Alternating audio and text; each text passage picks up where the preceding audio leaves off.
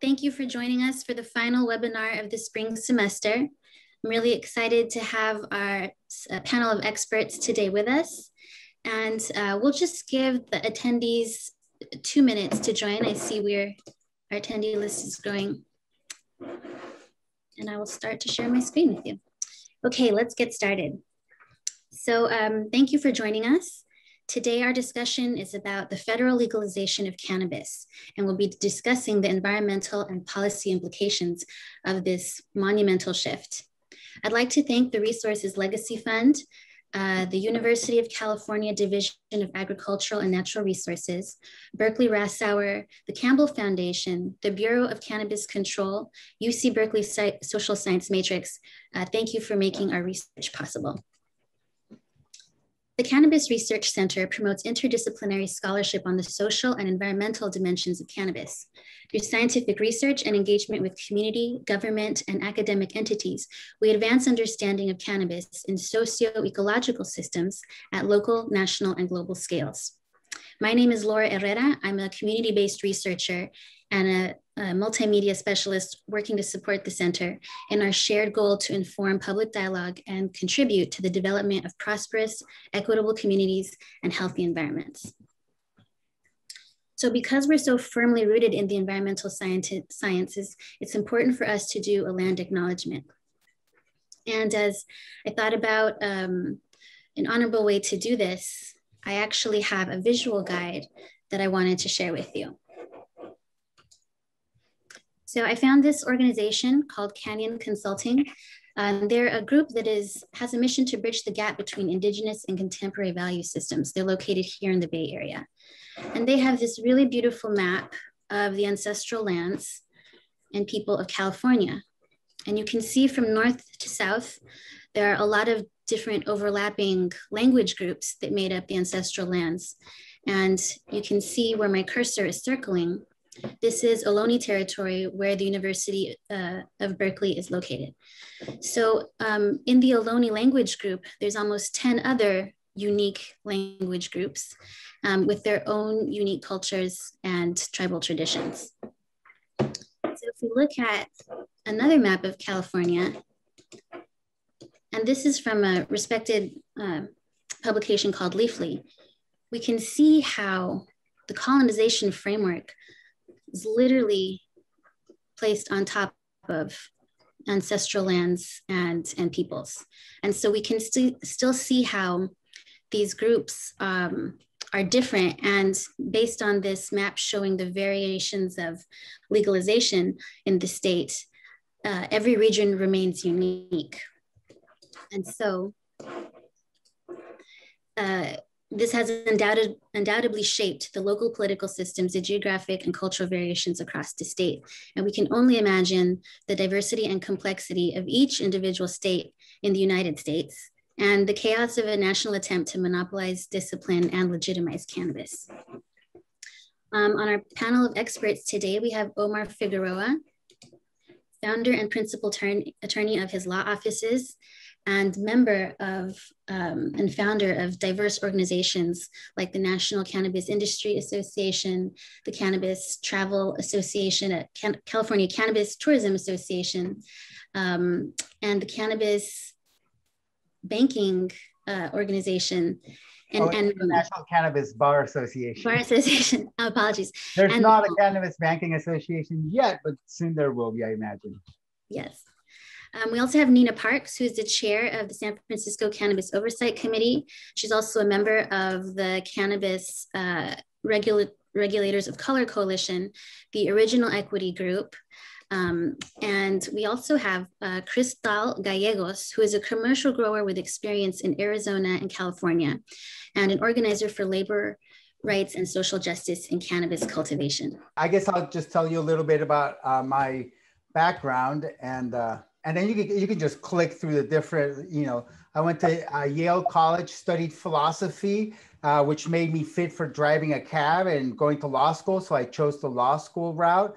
After law school i focused on freedom defense and i chose the creme de la creme of uh, criminal defendants who are uh, cannabis cultivators the nicest most peaceful and then uh, also like you know likely to do their homework and stay out of trouble uh, defendants out there i've defended um, cannabis defendants for more than 20 years. I've gone to gerry spence's trial lawyers college and at a ranch in wyoming. I'm also a founding lifetime member of the international cannabis bar association which is a bar association for legal professionals all across the world who are practicing cannabis law globally um, I'm also uh, director of the Cannabis Travel Association International, formerly known as the um, California Cannabis Travel Association. When we started out, there was tremendous interest in uh, tourism from all over the world. So the organization pivoted and became international. I'm also a director of the National Cannabis Industry Association and finally, I'm also um, a chapter leader with the Sonoma County chapter of the ACLU of Northern California. And um, next slide, please. I'm also um, a legal author, and I created a, um, you know numerous books that have chronicled the evolution of cannabis law over the years. We're on our fifth edition for the California book, and there's a brand new um, edition. And I'm happy to make a donation to the uh, Berkeley Cannabis Research Center of the complete set of books. I recently did the same for Humboldt State. And I'm really happy to see that cannabis studies is becoming its own, uh, you know, branch of study with like an interdisciplinary focus. Um, and so this is, you know, very exciting for me to be part of this. Um, so thank you for inviting me. Uh, Laura, thank you for putting this together and curating this awesome uh, seminar. Next slide, please. Now we're gonna go over the terminology. so Prop 215 is the Compassionate Use Act of 1996, and it was a voter initiative that was enacted in 1996. And it was the birth of the cannabis reform movement, um, of the modern cannabis reform movement globally. Um, Prop 215 had, you know, the, the doctor's recommendation or approval was necessary in order to uh, have a defense under Prop 215. And um, these were not prescriptions because under um, federal law, prescription cannot be made for a Schedule One controlled substance. So they adopted a different terminology, recommendation, meaning the doctor recommended the cannabis, approval, meaning that the patient brought up existing cannabis use and the doctor said, go ahead, I'm okay with that. And uh, those you, uh, were called scripts, you know, which is a technically incorrect name, but it used to denote, you know, uh, written recommendations or approvals. Interestingly, they did not have to be in writing. There could be oral recommendations and oral approvals, uh, and they still are. Prop 215 is still in effect. Uh, the cooperative model is something that's no longer in effect. This was something that was born in 2004 uh, with Senate Bill 420, and it allowed patients and caregivers to associate cooperatively in order to cultivate cannabis. And so it really allowed for the large groups of patients and caregivers to start growing cannabis. There was no limit on the number of um, members of a cooperative. And um, you know, that was kind of the, the birth of like the modern cannabis industry. We went from Prop 215, where it was focused just on patients and caregivers growing their own, to now a defense for cooperatives. Compassionate care um, was not really required by the law, but it was like uh, those were like programs that were put in place by collectives and cooperatives in order to have a strong legal defense in, in the event of um, you know contact with law enforcement. You know uh, it was very easy for very ill patients to get compassionate care because they were often adopted by collectives and cooperatives as part of their legal defense.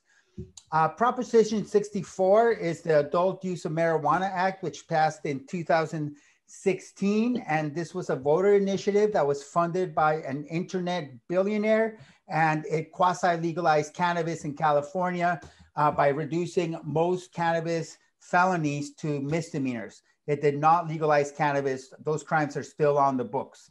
Appellations was um, legal framework passed into California law, which allows for the registration and designation of official appellations of origin.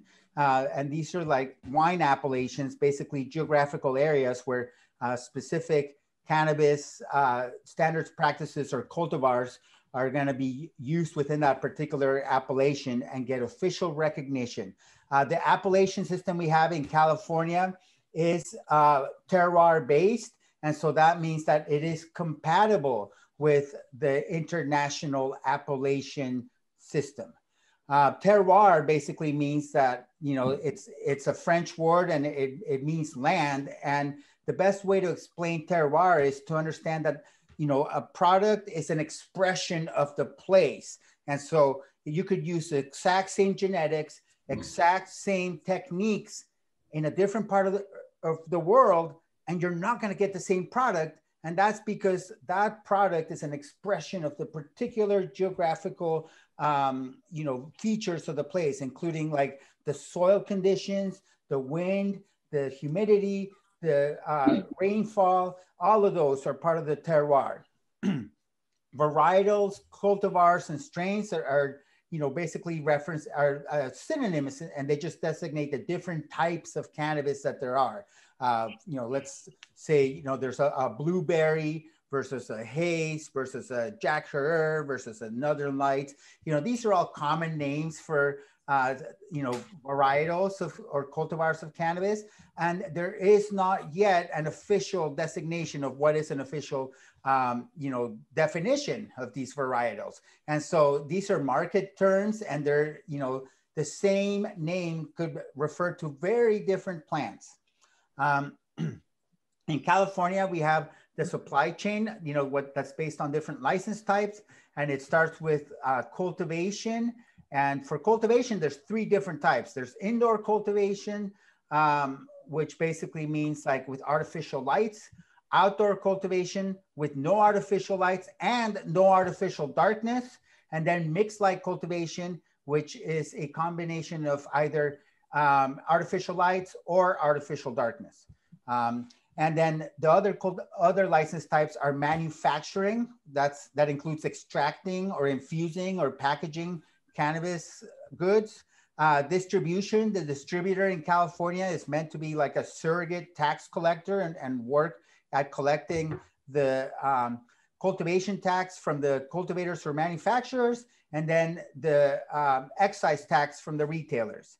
There's also required laboratory testing of all cannabis in California, and there's a separate license type called the laboratory testing license. Um, and somebody who holds a lab testing license cannot hold any other type of license. They're supposed to be the referees standing neutral from the game.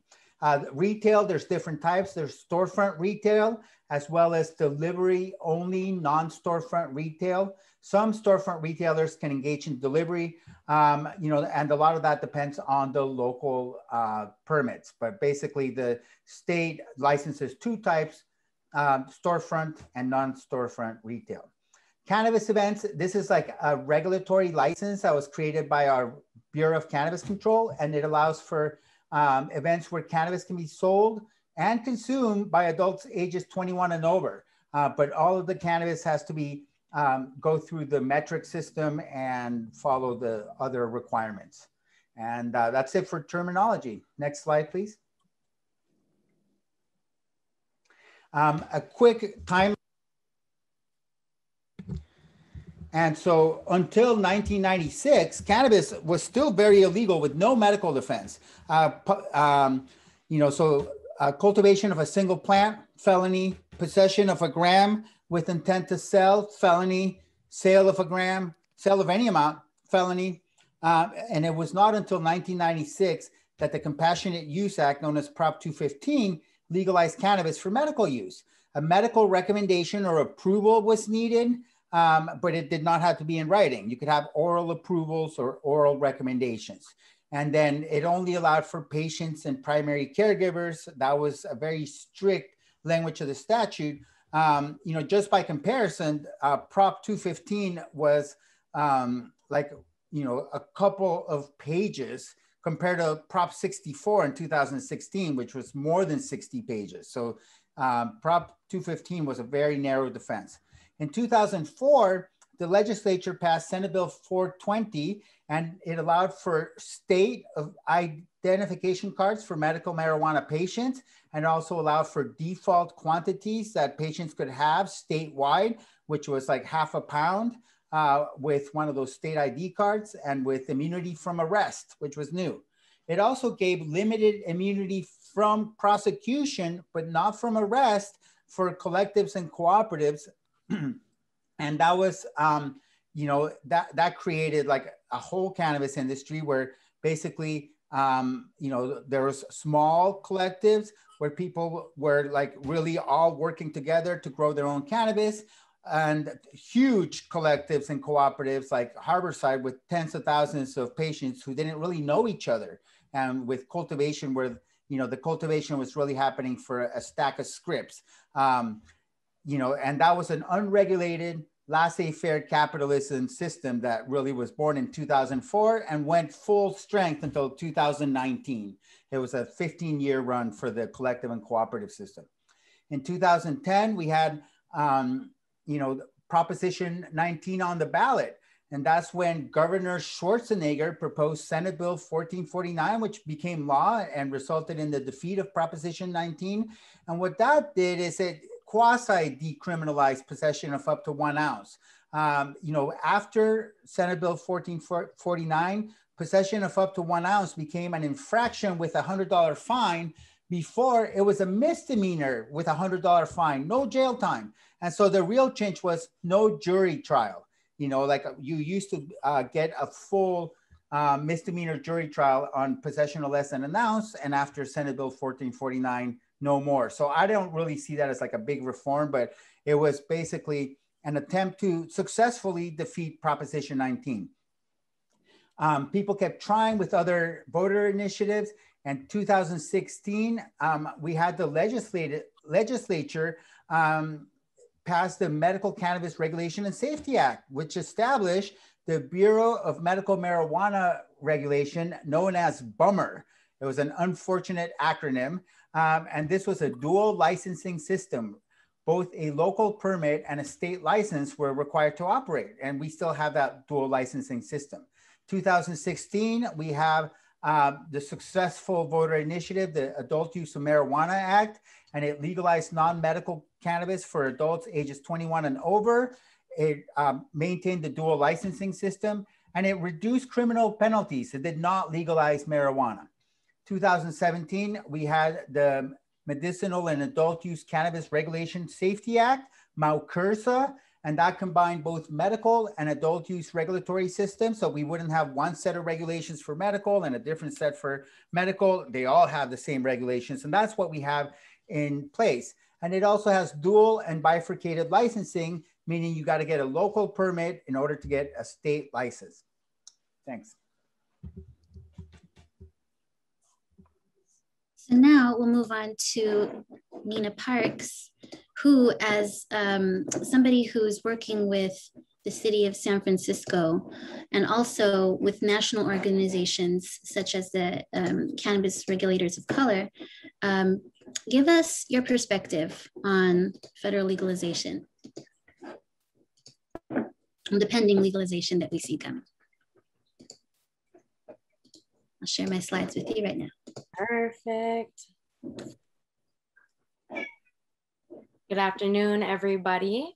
My name is Nina Parks. Um, since we are doing land acknowledgements, I was also born and raised uh, here in occupied Ohlone territory, uh, which is San Francisco, California.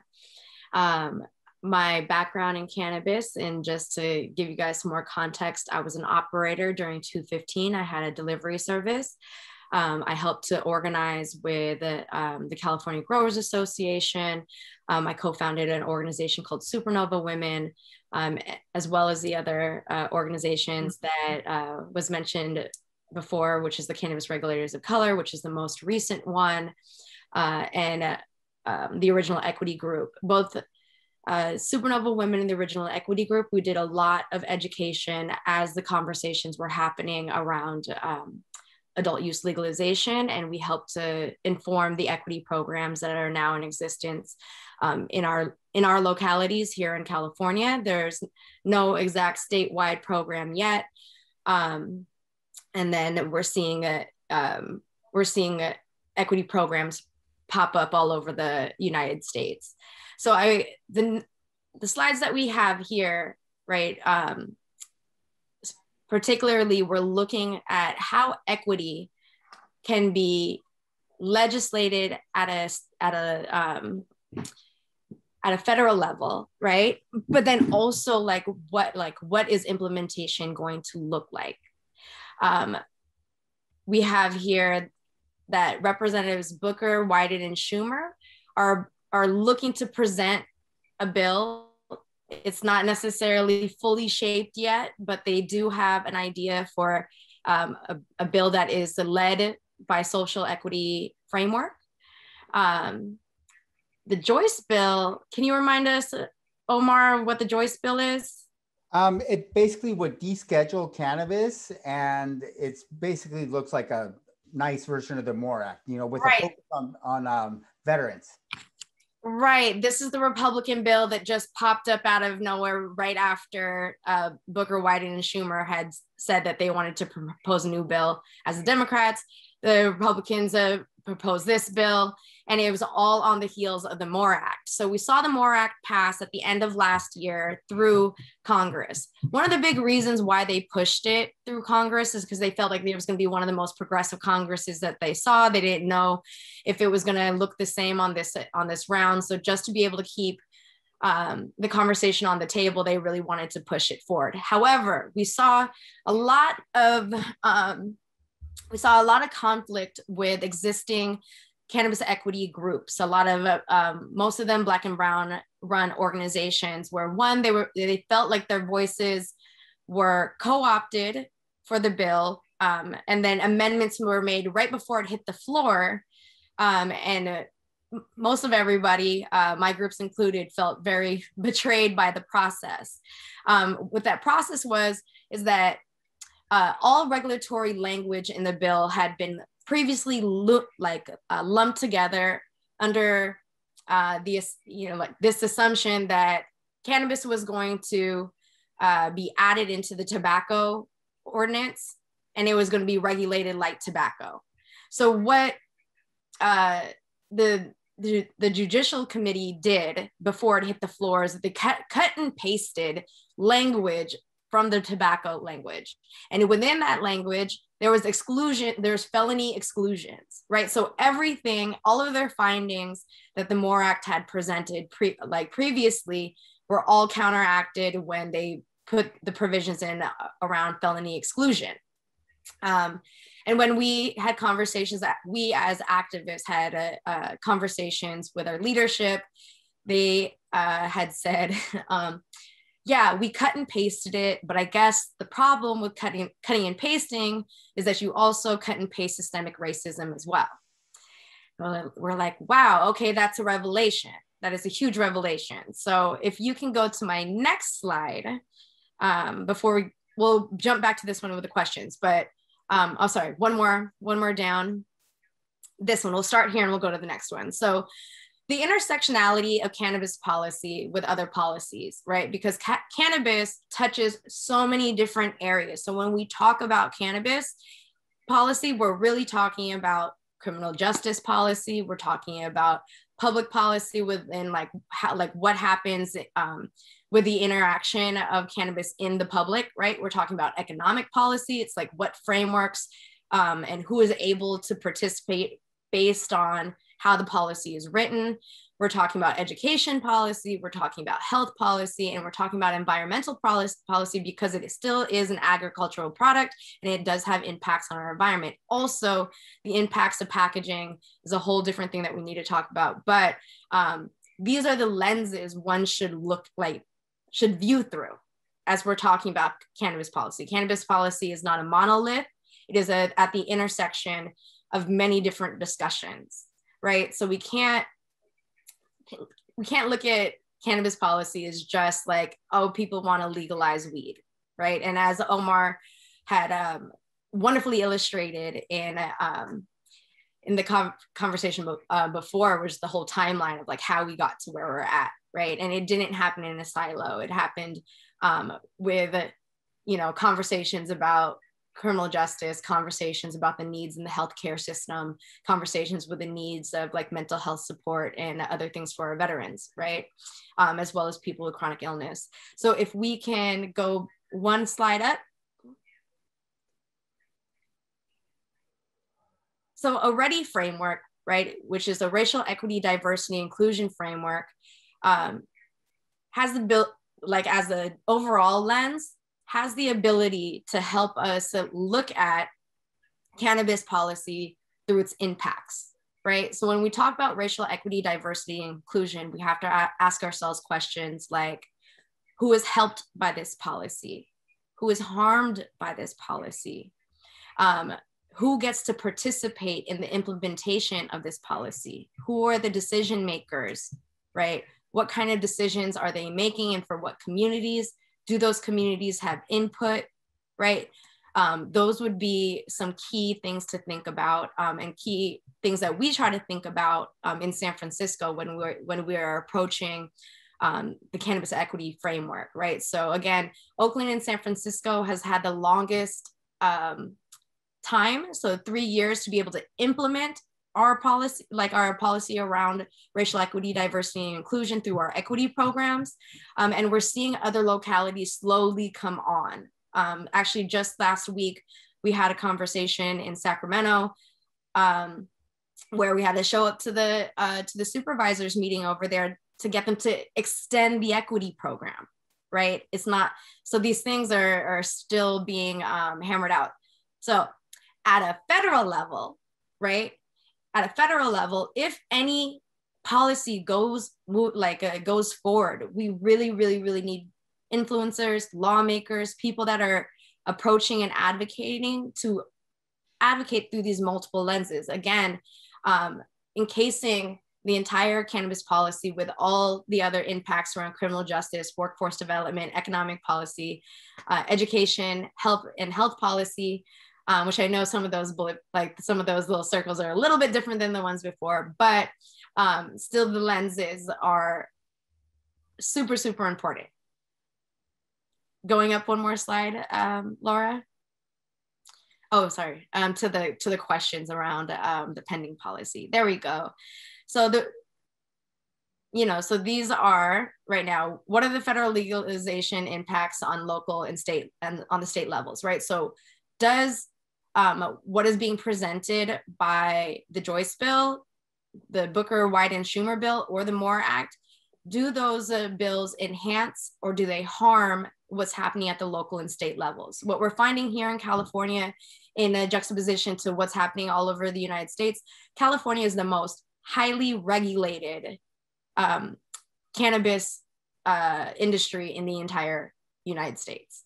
We are also the most heavily taxed right? So like right now, California is being taxed at 43% on every pound of cannabis, right? In the event, so that so what that tax is made up of is a cultivation tax, which is a $154 and like 93 cents per pound, right? So that's off off top. And then there is a 15% tax um, that's the excise tax at the consumer level as well as an eight point like 9% sales tax um, at the retail level, level as well. Um, so combined are we're being taxed at, at 43%. Plus, remember there's the the fees around um, your permitting, around your licensing. And so all of that actually really does um, create a high barrier of entry for folks into the industry. So whatever happens at the federal level, it has to decrease for it to actually be uh, in alignment with the values around uh, racial equity, diversity, diver, diversity and inclusion. Um, it would have to lower those barriers to entry, right? Because some of the barriers that we've been finding in regards to racial equity, diversity, and inclusion is that there is problems around access to capital, access to um, to real estate, right? Because it it also goes in with the access to capital, um, and then uh, um, and then also going into um, the education and the support of navigating a system that had previously um, been set up to harm the communities that were impacted. Um, so the, these are the places that, um, and all the lenses that we're looking at when we when we view these bills. Um, the MORE Act, for the most part, has um, has the potential to help because it sets up a fund, a community a community reinvestment fund. Um, it sets up uh, um, pathways for people to get resources that have uh, state and local equity programs. Um, however, uh, still the devil's in the details. And so if the way that uh, cannabis is actually regulated at a federal level mirrors um, other industries that have already been exclusionary, that is the opposite of what we're, we're, we're looking for. So we need to be very um, mindful as these bills start to get pushed forward. Um, was a rumor that the MORE Act is supposed to be reintroduced this week, um, if not this week, next week, and we'll see um, where where it all lands. There's a many many stakeholders that have been chi- chiming in, um, and it, we'll we'll see it, and we're all patiently watching to see if maybe the Booker Wyden and Schumer bill um, can one up the MORE Act in in the way that it it's um, written out to to regulate to lower the barriers of entry. And that's it. That's all I got. that was great. Thank you so much for that perspective. And these last two questions, um, especially about corporate responsibility, sustainability, and best practices, will be fully addressed by Cristal. So I want to switch to Cristal's slides and let her take over the mic.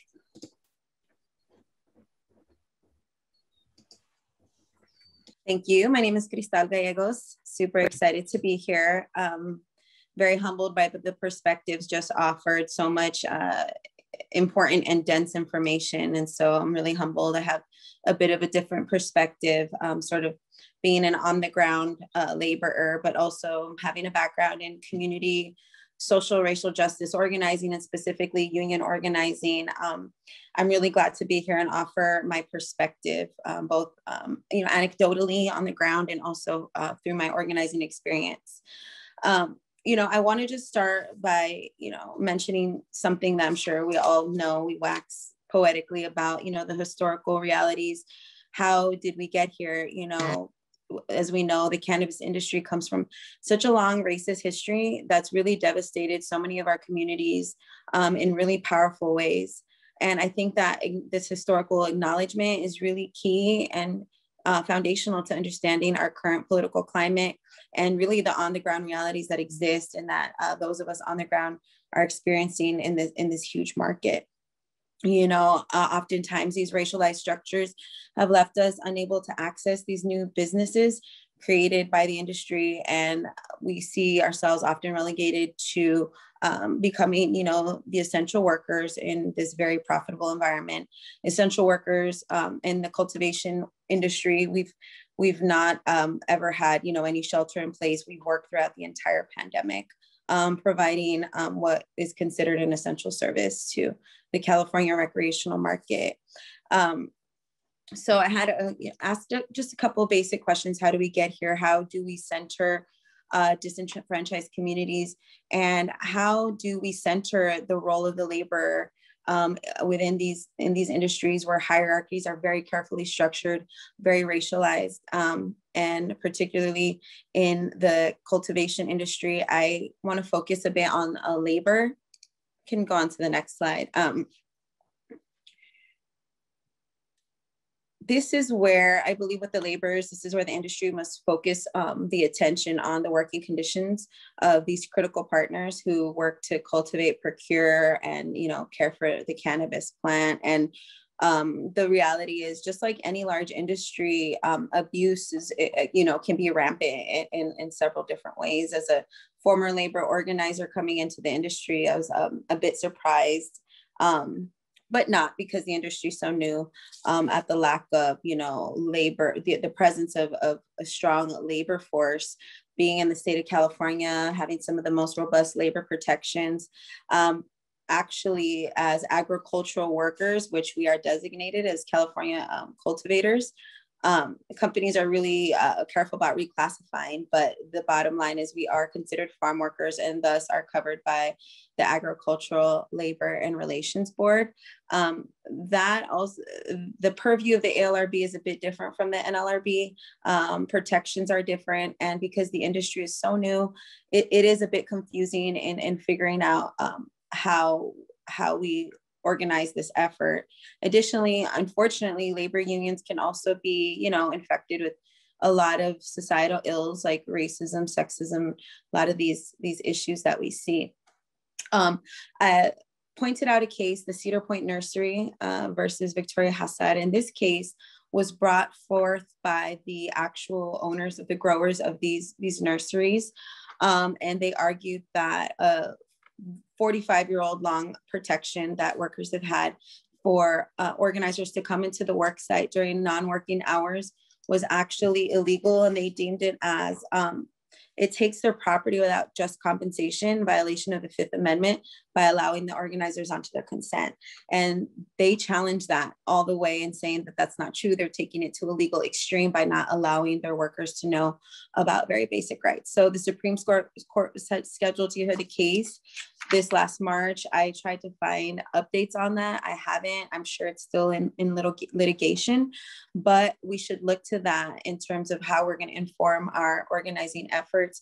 But the bottom line is uh, there is an, an extreme need for collective bargaining rights and the access to these unique protections because we are laborers. Uh, we use our bodies every single day. Indoor cultivation, um, especially at the large scale, is very, very intense.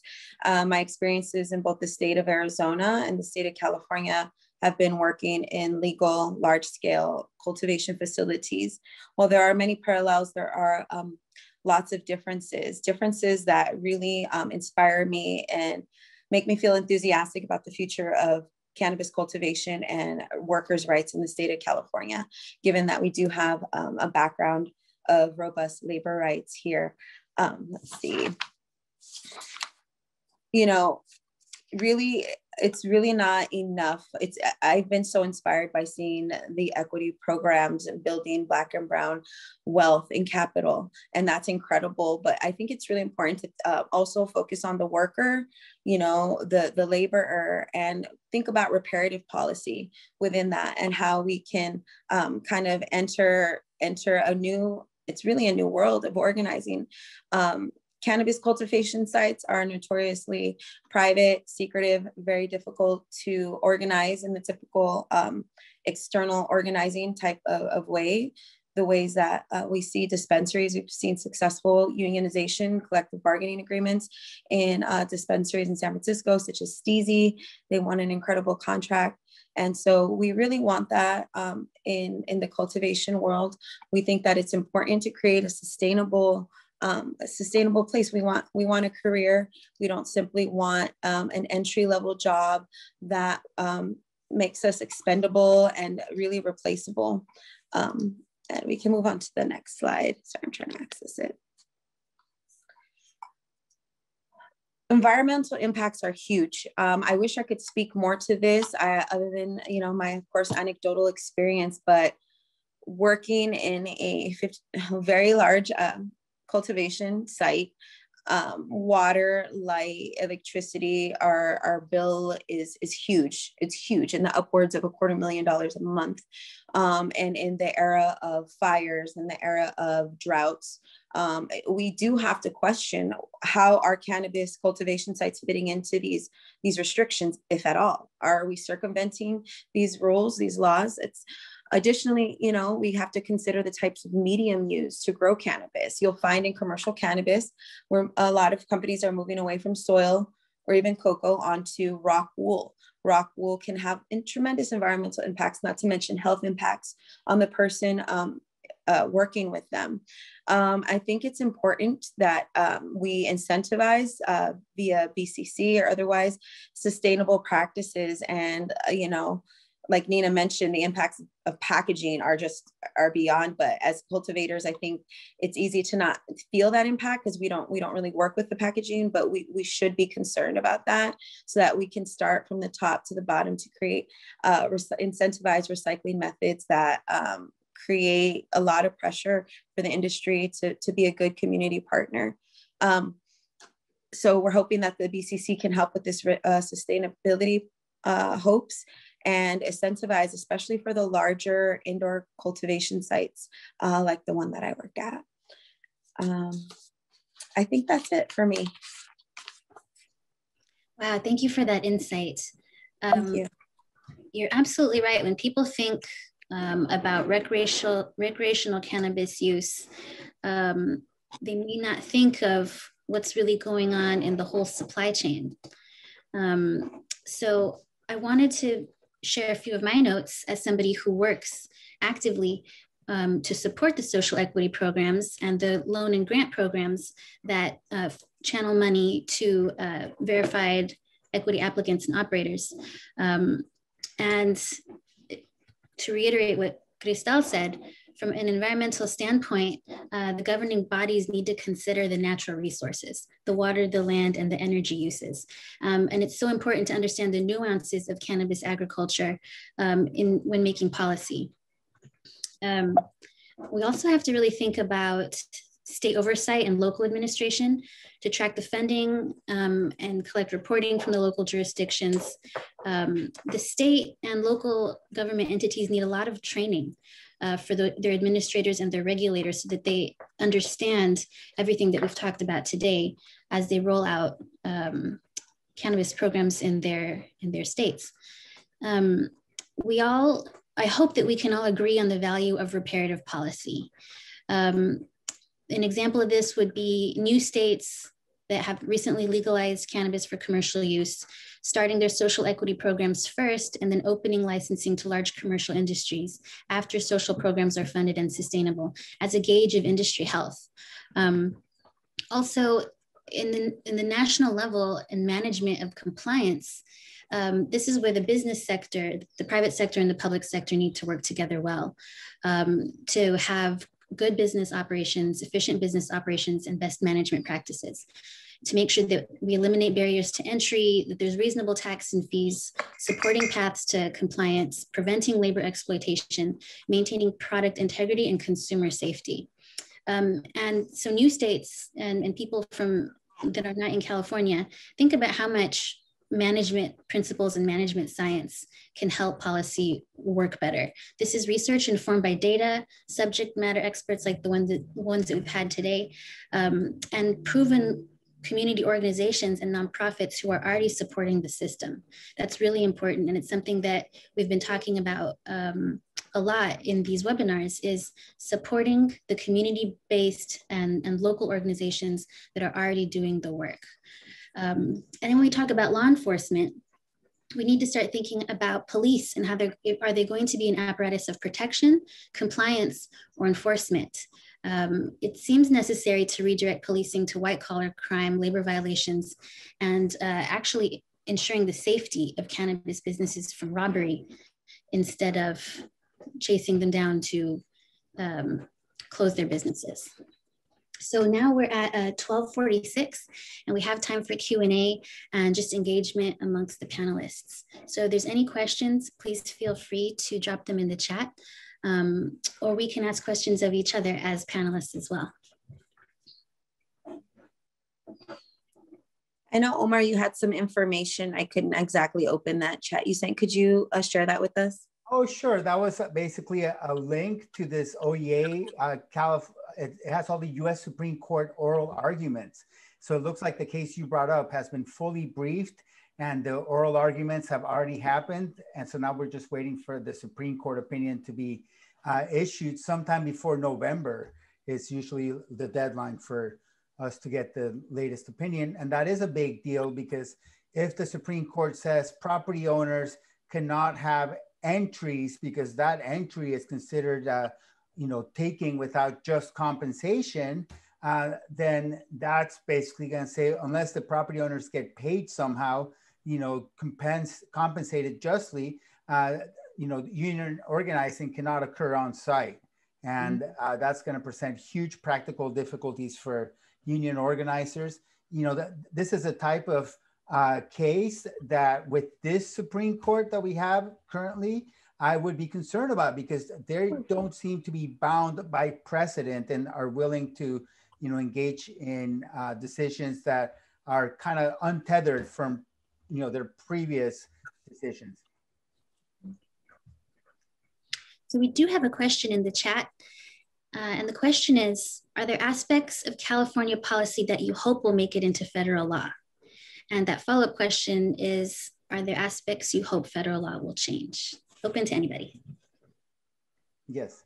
I mean, I think definitely like um, the aspects of California policy that I hope will make it into federal law are like few because I think California is over regulating cannabis. So, you know, I maybe like standardizing like the laboratory testing on a nationwide basis could be something that would be helpful. But other than that, like stay out of the way and let the states regulate cannabis because that's the way our democracy is set up. The states are supposed to be the laboratories of democracy where we can run all, you know, 50 simultaneous experiments, hopefully more than that with DC and Puerto Rico statehood, uh, but we can run more than 50 experiments to see like what the best way is to regulate cannabis. And in a free market, you really should have minimal regulation and allow like the, um, you know, competition to determine who the winners are, not heavy regulation. And those who are fortunate enough to have venture capital and family offices and private equity and private wealth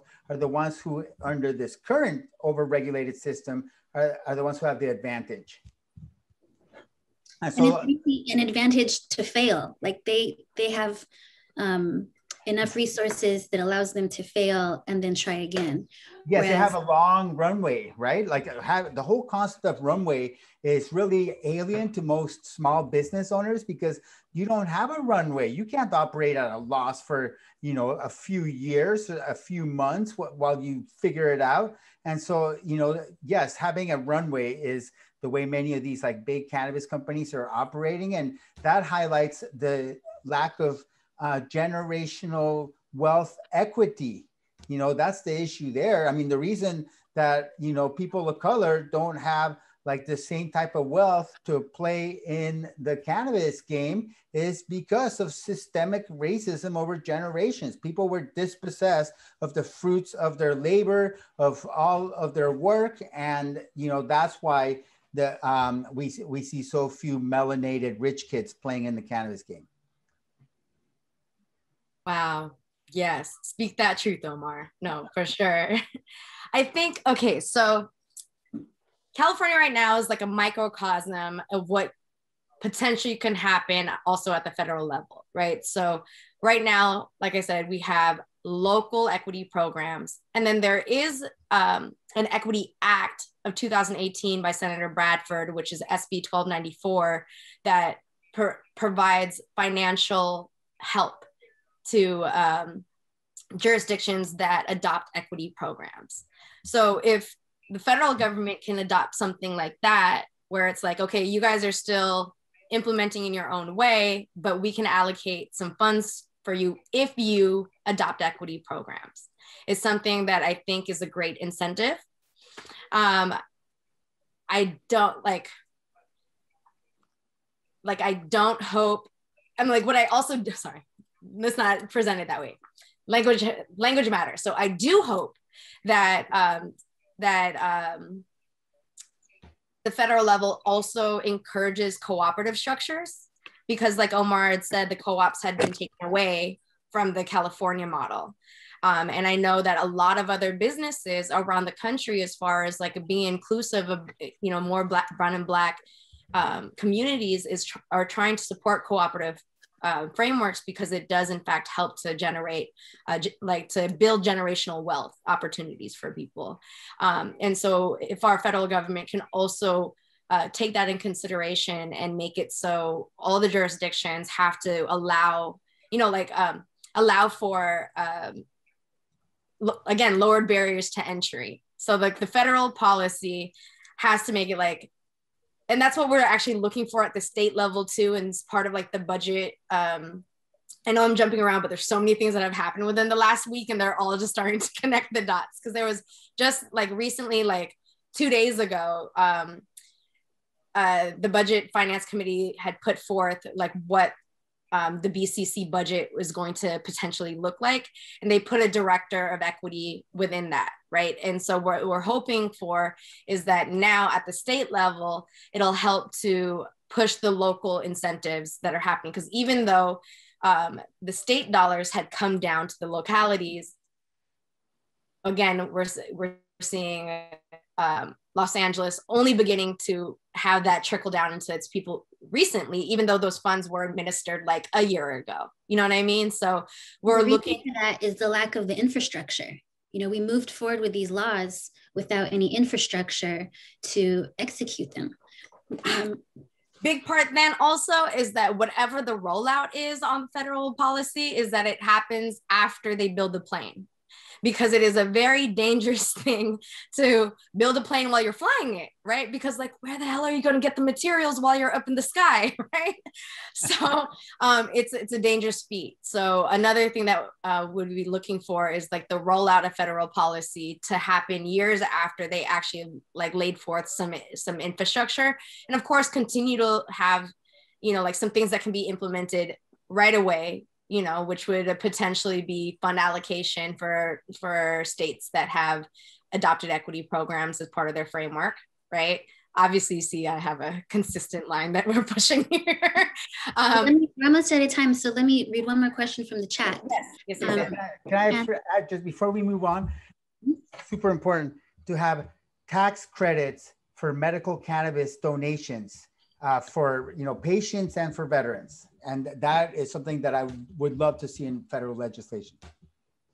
And that is something that um, I like to refer to as part of the ethics of cannabis and how we need to enforce ethics in cannabis policy to address um, the patients, to address the prison, prisoners, and um, this equity ecosystem.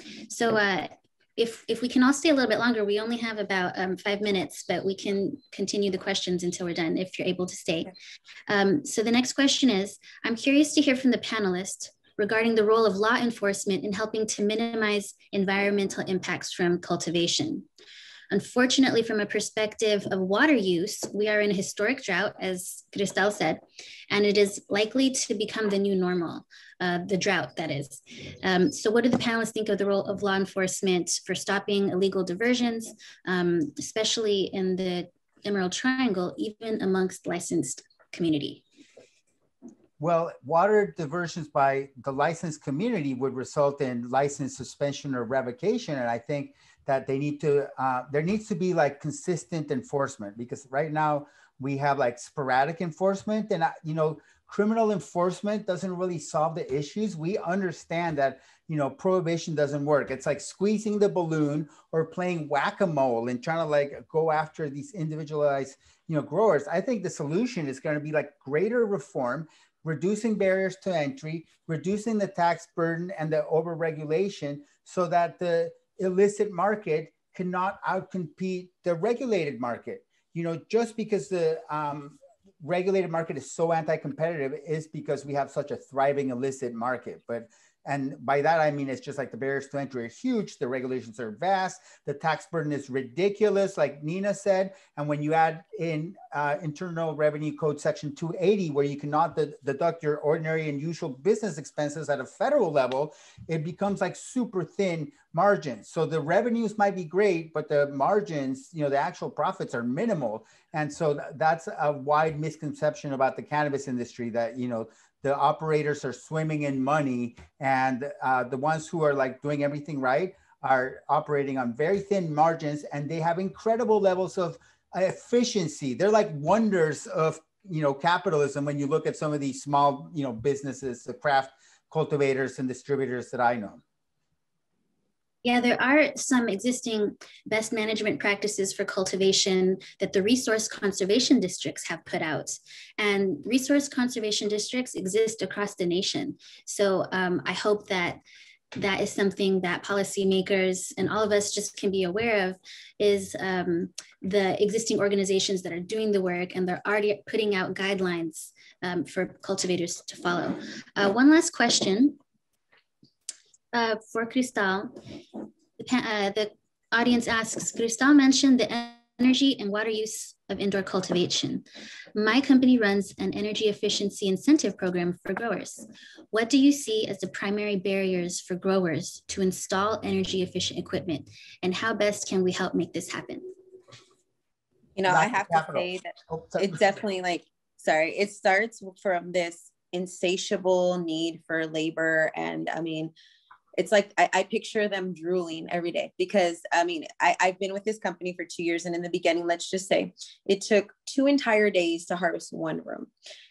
Today, it takes two hours to harvest two rooms. And so our rate of work has, has increased. The fact that there is that lack of infrastructure, we talked about building the plane we're, we're building it as we go so it perpetuates this this insatiable need for labor right and so um, with the enforcement part piece i want to mention i don't think it should be police it should be this newly new branch of government the bcc because let me tell you they're not going after the huge the huge ones you know we're we're oh we have five uh, five thousand gallon room floods and you know it's just like whatever you know and so it's very difficult to imagine that regulation happening, but it's so critical because at this point, part of it is sort of that kind of 215. We do what we need to do, we do what we want to do. Nobody's really regulating us because it seems that the BCC is focusing their efforts more on these illegal um, um, grows and really hands off with us so called really legal grows who have a lot of political advantage, you know, white privilege and historical, you know, the company I work for has really deep roots um, up in Sonoma County. So, you know, it is difficult. And I think that it would have to be highly incentivized. And the only incentive now is profits. We've gone from cultivating these incredible cultivars, right? Uh, gorgeous strains with incredible terpene profiles to only selecting strains that test at like 30% or more we don't consider anything else, you know, and the turnaround, you know, 62 days, no, let's cut it at 50. So I think any energy savings you know mindset would have to come with a really huge incentive for the company itself because right now money ain't a thing it kind of feels like like oh it's okay half a million bucks who cares you know? And it seems like the city really loves that. I mean they're getting paid. So we have to create accountability at you know a local level with, and then with the communities that are surrounding to be more responsible partners because we just sort of use use use and really don't give back.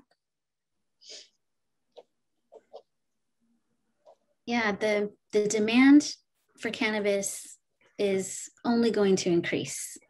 Um, as the consumers become more knowledgeable, as you know, different consumer groups are reached, as the prices go down um, across the country, this is going to be, you know, maybe the most in-demand product that we see um, over the next decade. So it's really important for us before federally legalization happens to fine tune what's happening at this local level. And so I thank all three of you of the advocacy, the time, the energy, and the work that you've put into your communities, into your um, your special line of expertise. Um, I'm glad to be in conversation with you and have you as resources as we inform academic research and scientific um, data. So uh, we're at 101 p.m. I don't see any more questions. Um, any final words from any of you? You know, I, I, think the reason we have such a burdensome uh, system at the state level is because we were worried about federal intervention. And so we wanted a system that was like leakage proof that would keep the feds out of California. When mm-hmm. federal legalization happens, that whole rationale collapses. And so, you know, we should start reimagining now what it would be like if we are no longer worried about federal intervention into California system because we don't have to have the current system that really you know excludes many of the people who are impacted most by the drug war who don't have the capital to jump into a regulated cannabis and right. you know i think we're going to see some changes so it's very exciting to be time to be studying this i agree cristal any final words No, just thank you. I'm so, I feel so edified after speaking, listening to each of you. I feel really reinvigorated to move forward in our work and thankful that you guys gave us the time and all of your knowledge. Thank you so much. Nina, any final words? Thank you. The same as everybody else is just thank you for the for the time and space and for um, those that are in the audience that are super interested in um, in what's uh, happening. Please follow uh, Equity Sessions. So at Equity Sessions on Instagram uh, for stuff that's happening locally in um, in uh, San Francisco and in California. And then uh, to kind of stay up with myself as well, uh, it's um, Thank you, Laura. Uh, at and also at Nina underscore Parks. Uh, we will be rolling out which is a whole different conversation that maybe we can come back here for at a, um, a different time. But uh, for those in here doing research, like please think about the lens in which you are doing the research with. Um, does it have a racial equity, diversity, uh, diversity and inclusion uh, framework that's attached to that research? Um, it's really important um, as we go forward and as Omar said, into this changing world that uh, we have people looking through a new way. So that's it. Thank you for your time, everybody. So as I mentioned, this is the last webinar of the spring semester. We'll be back in the fall. So be sure to check our website periodically, crc.berkeley.edu, where we will be posting uh, videos of this webinar and other past webinars and um, publications from our researchers, science briefs that are short summaries of our research, videos, and other multimedia uh, resources. So thank you so much. Have a great day, and thank you for your time. Thank you.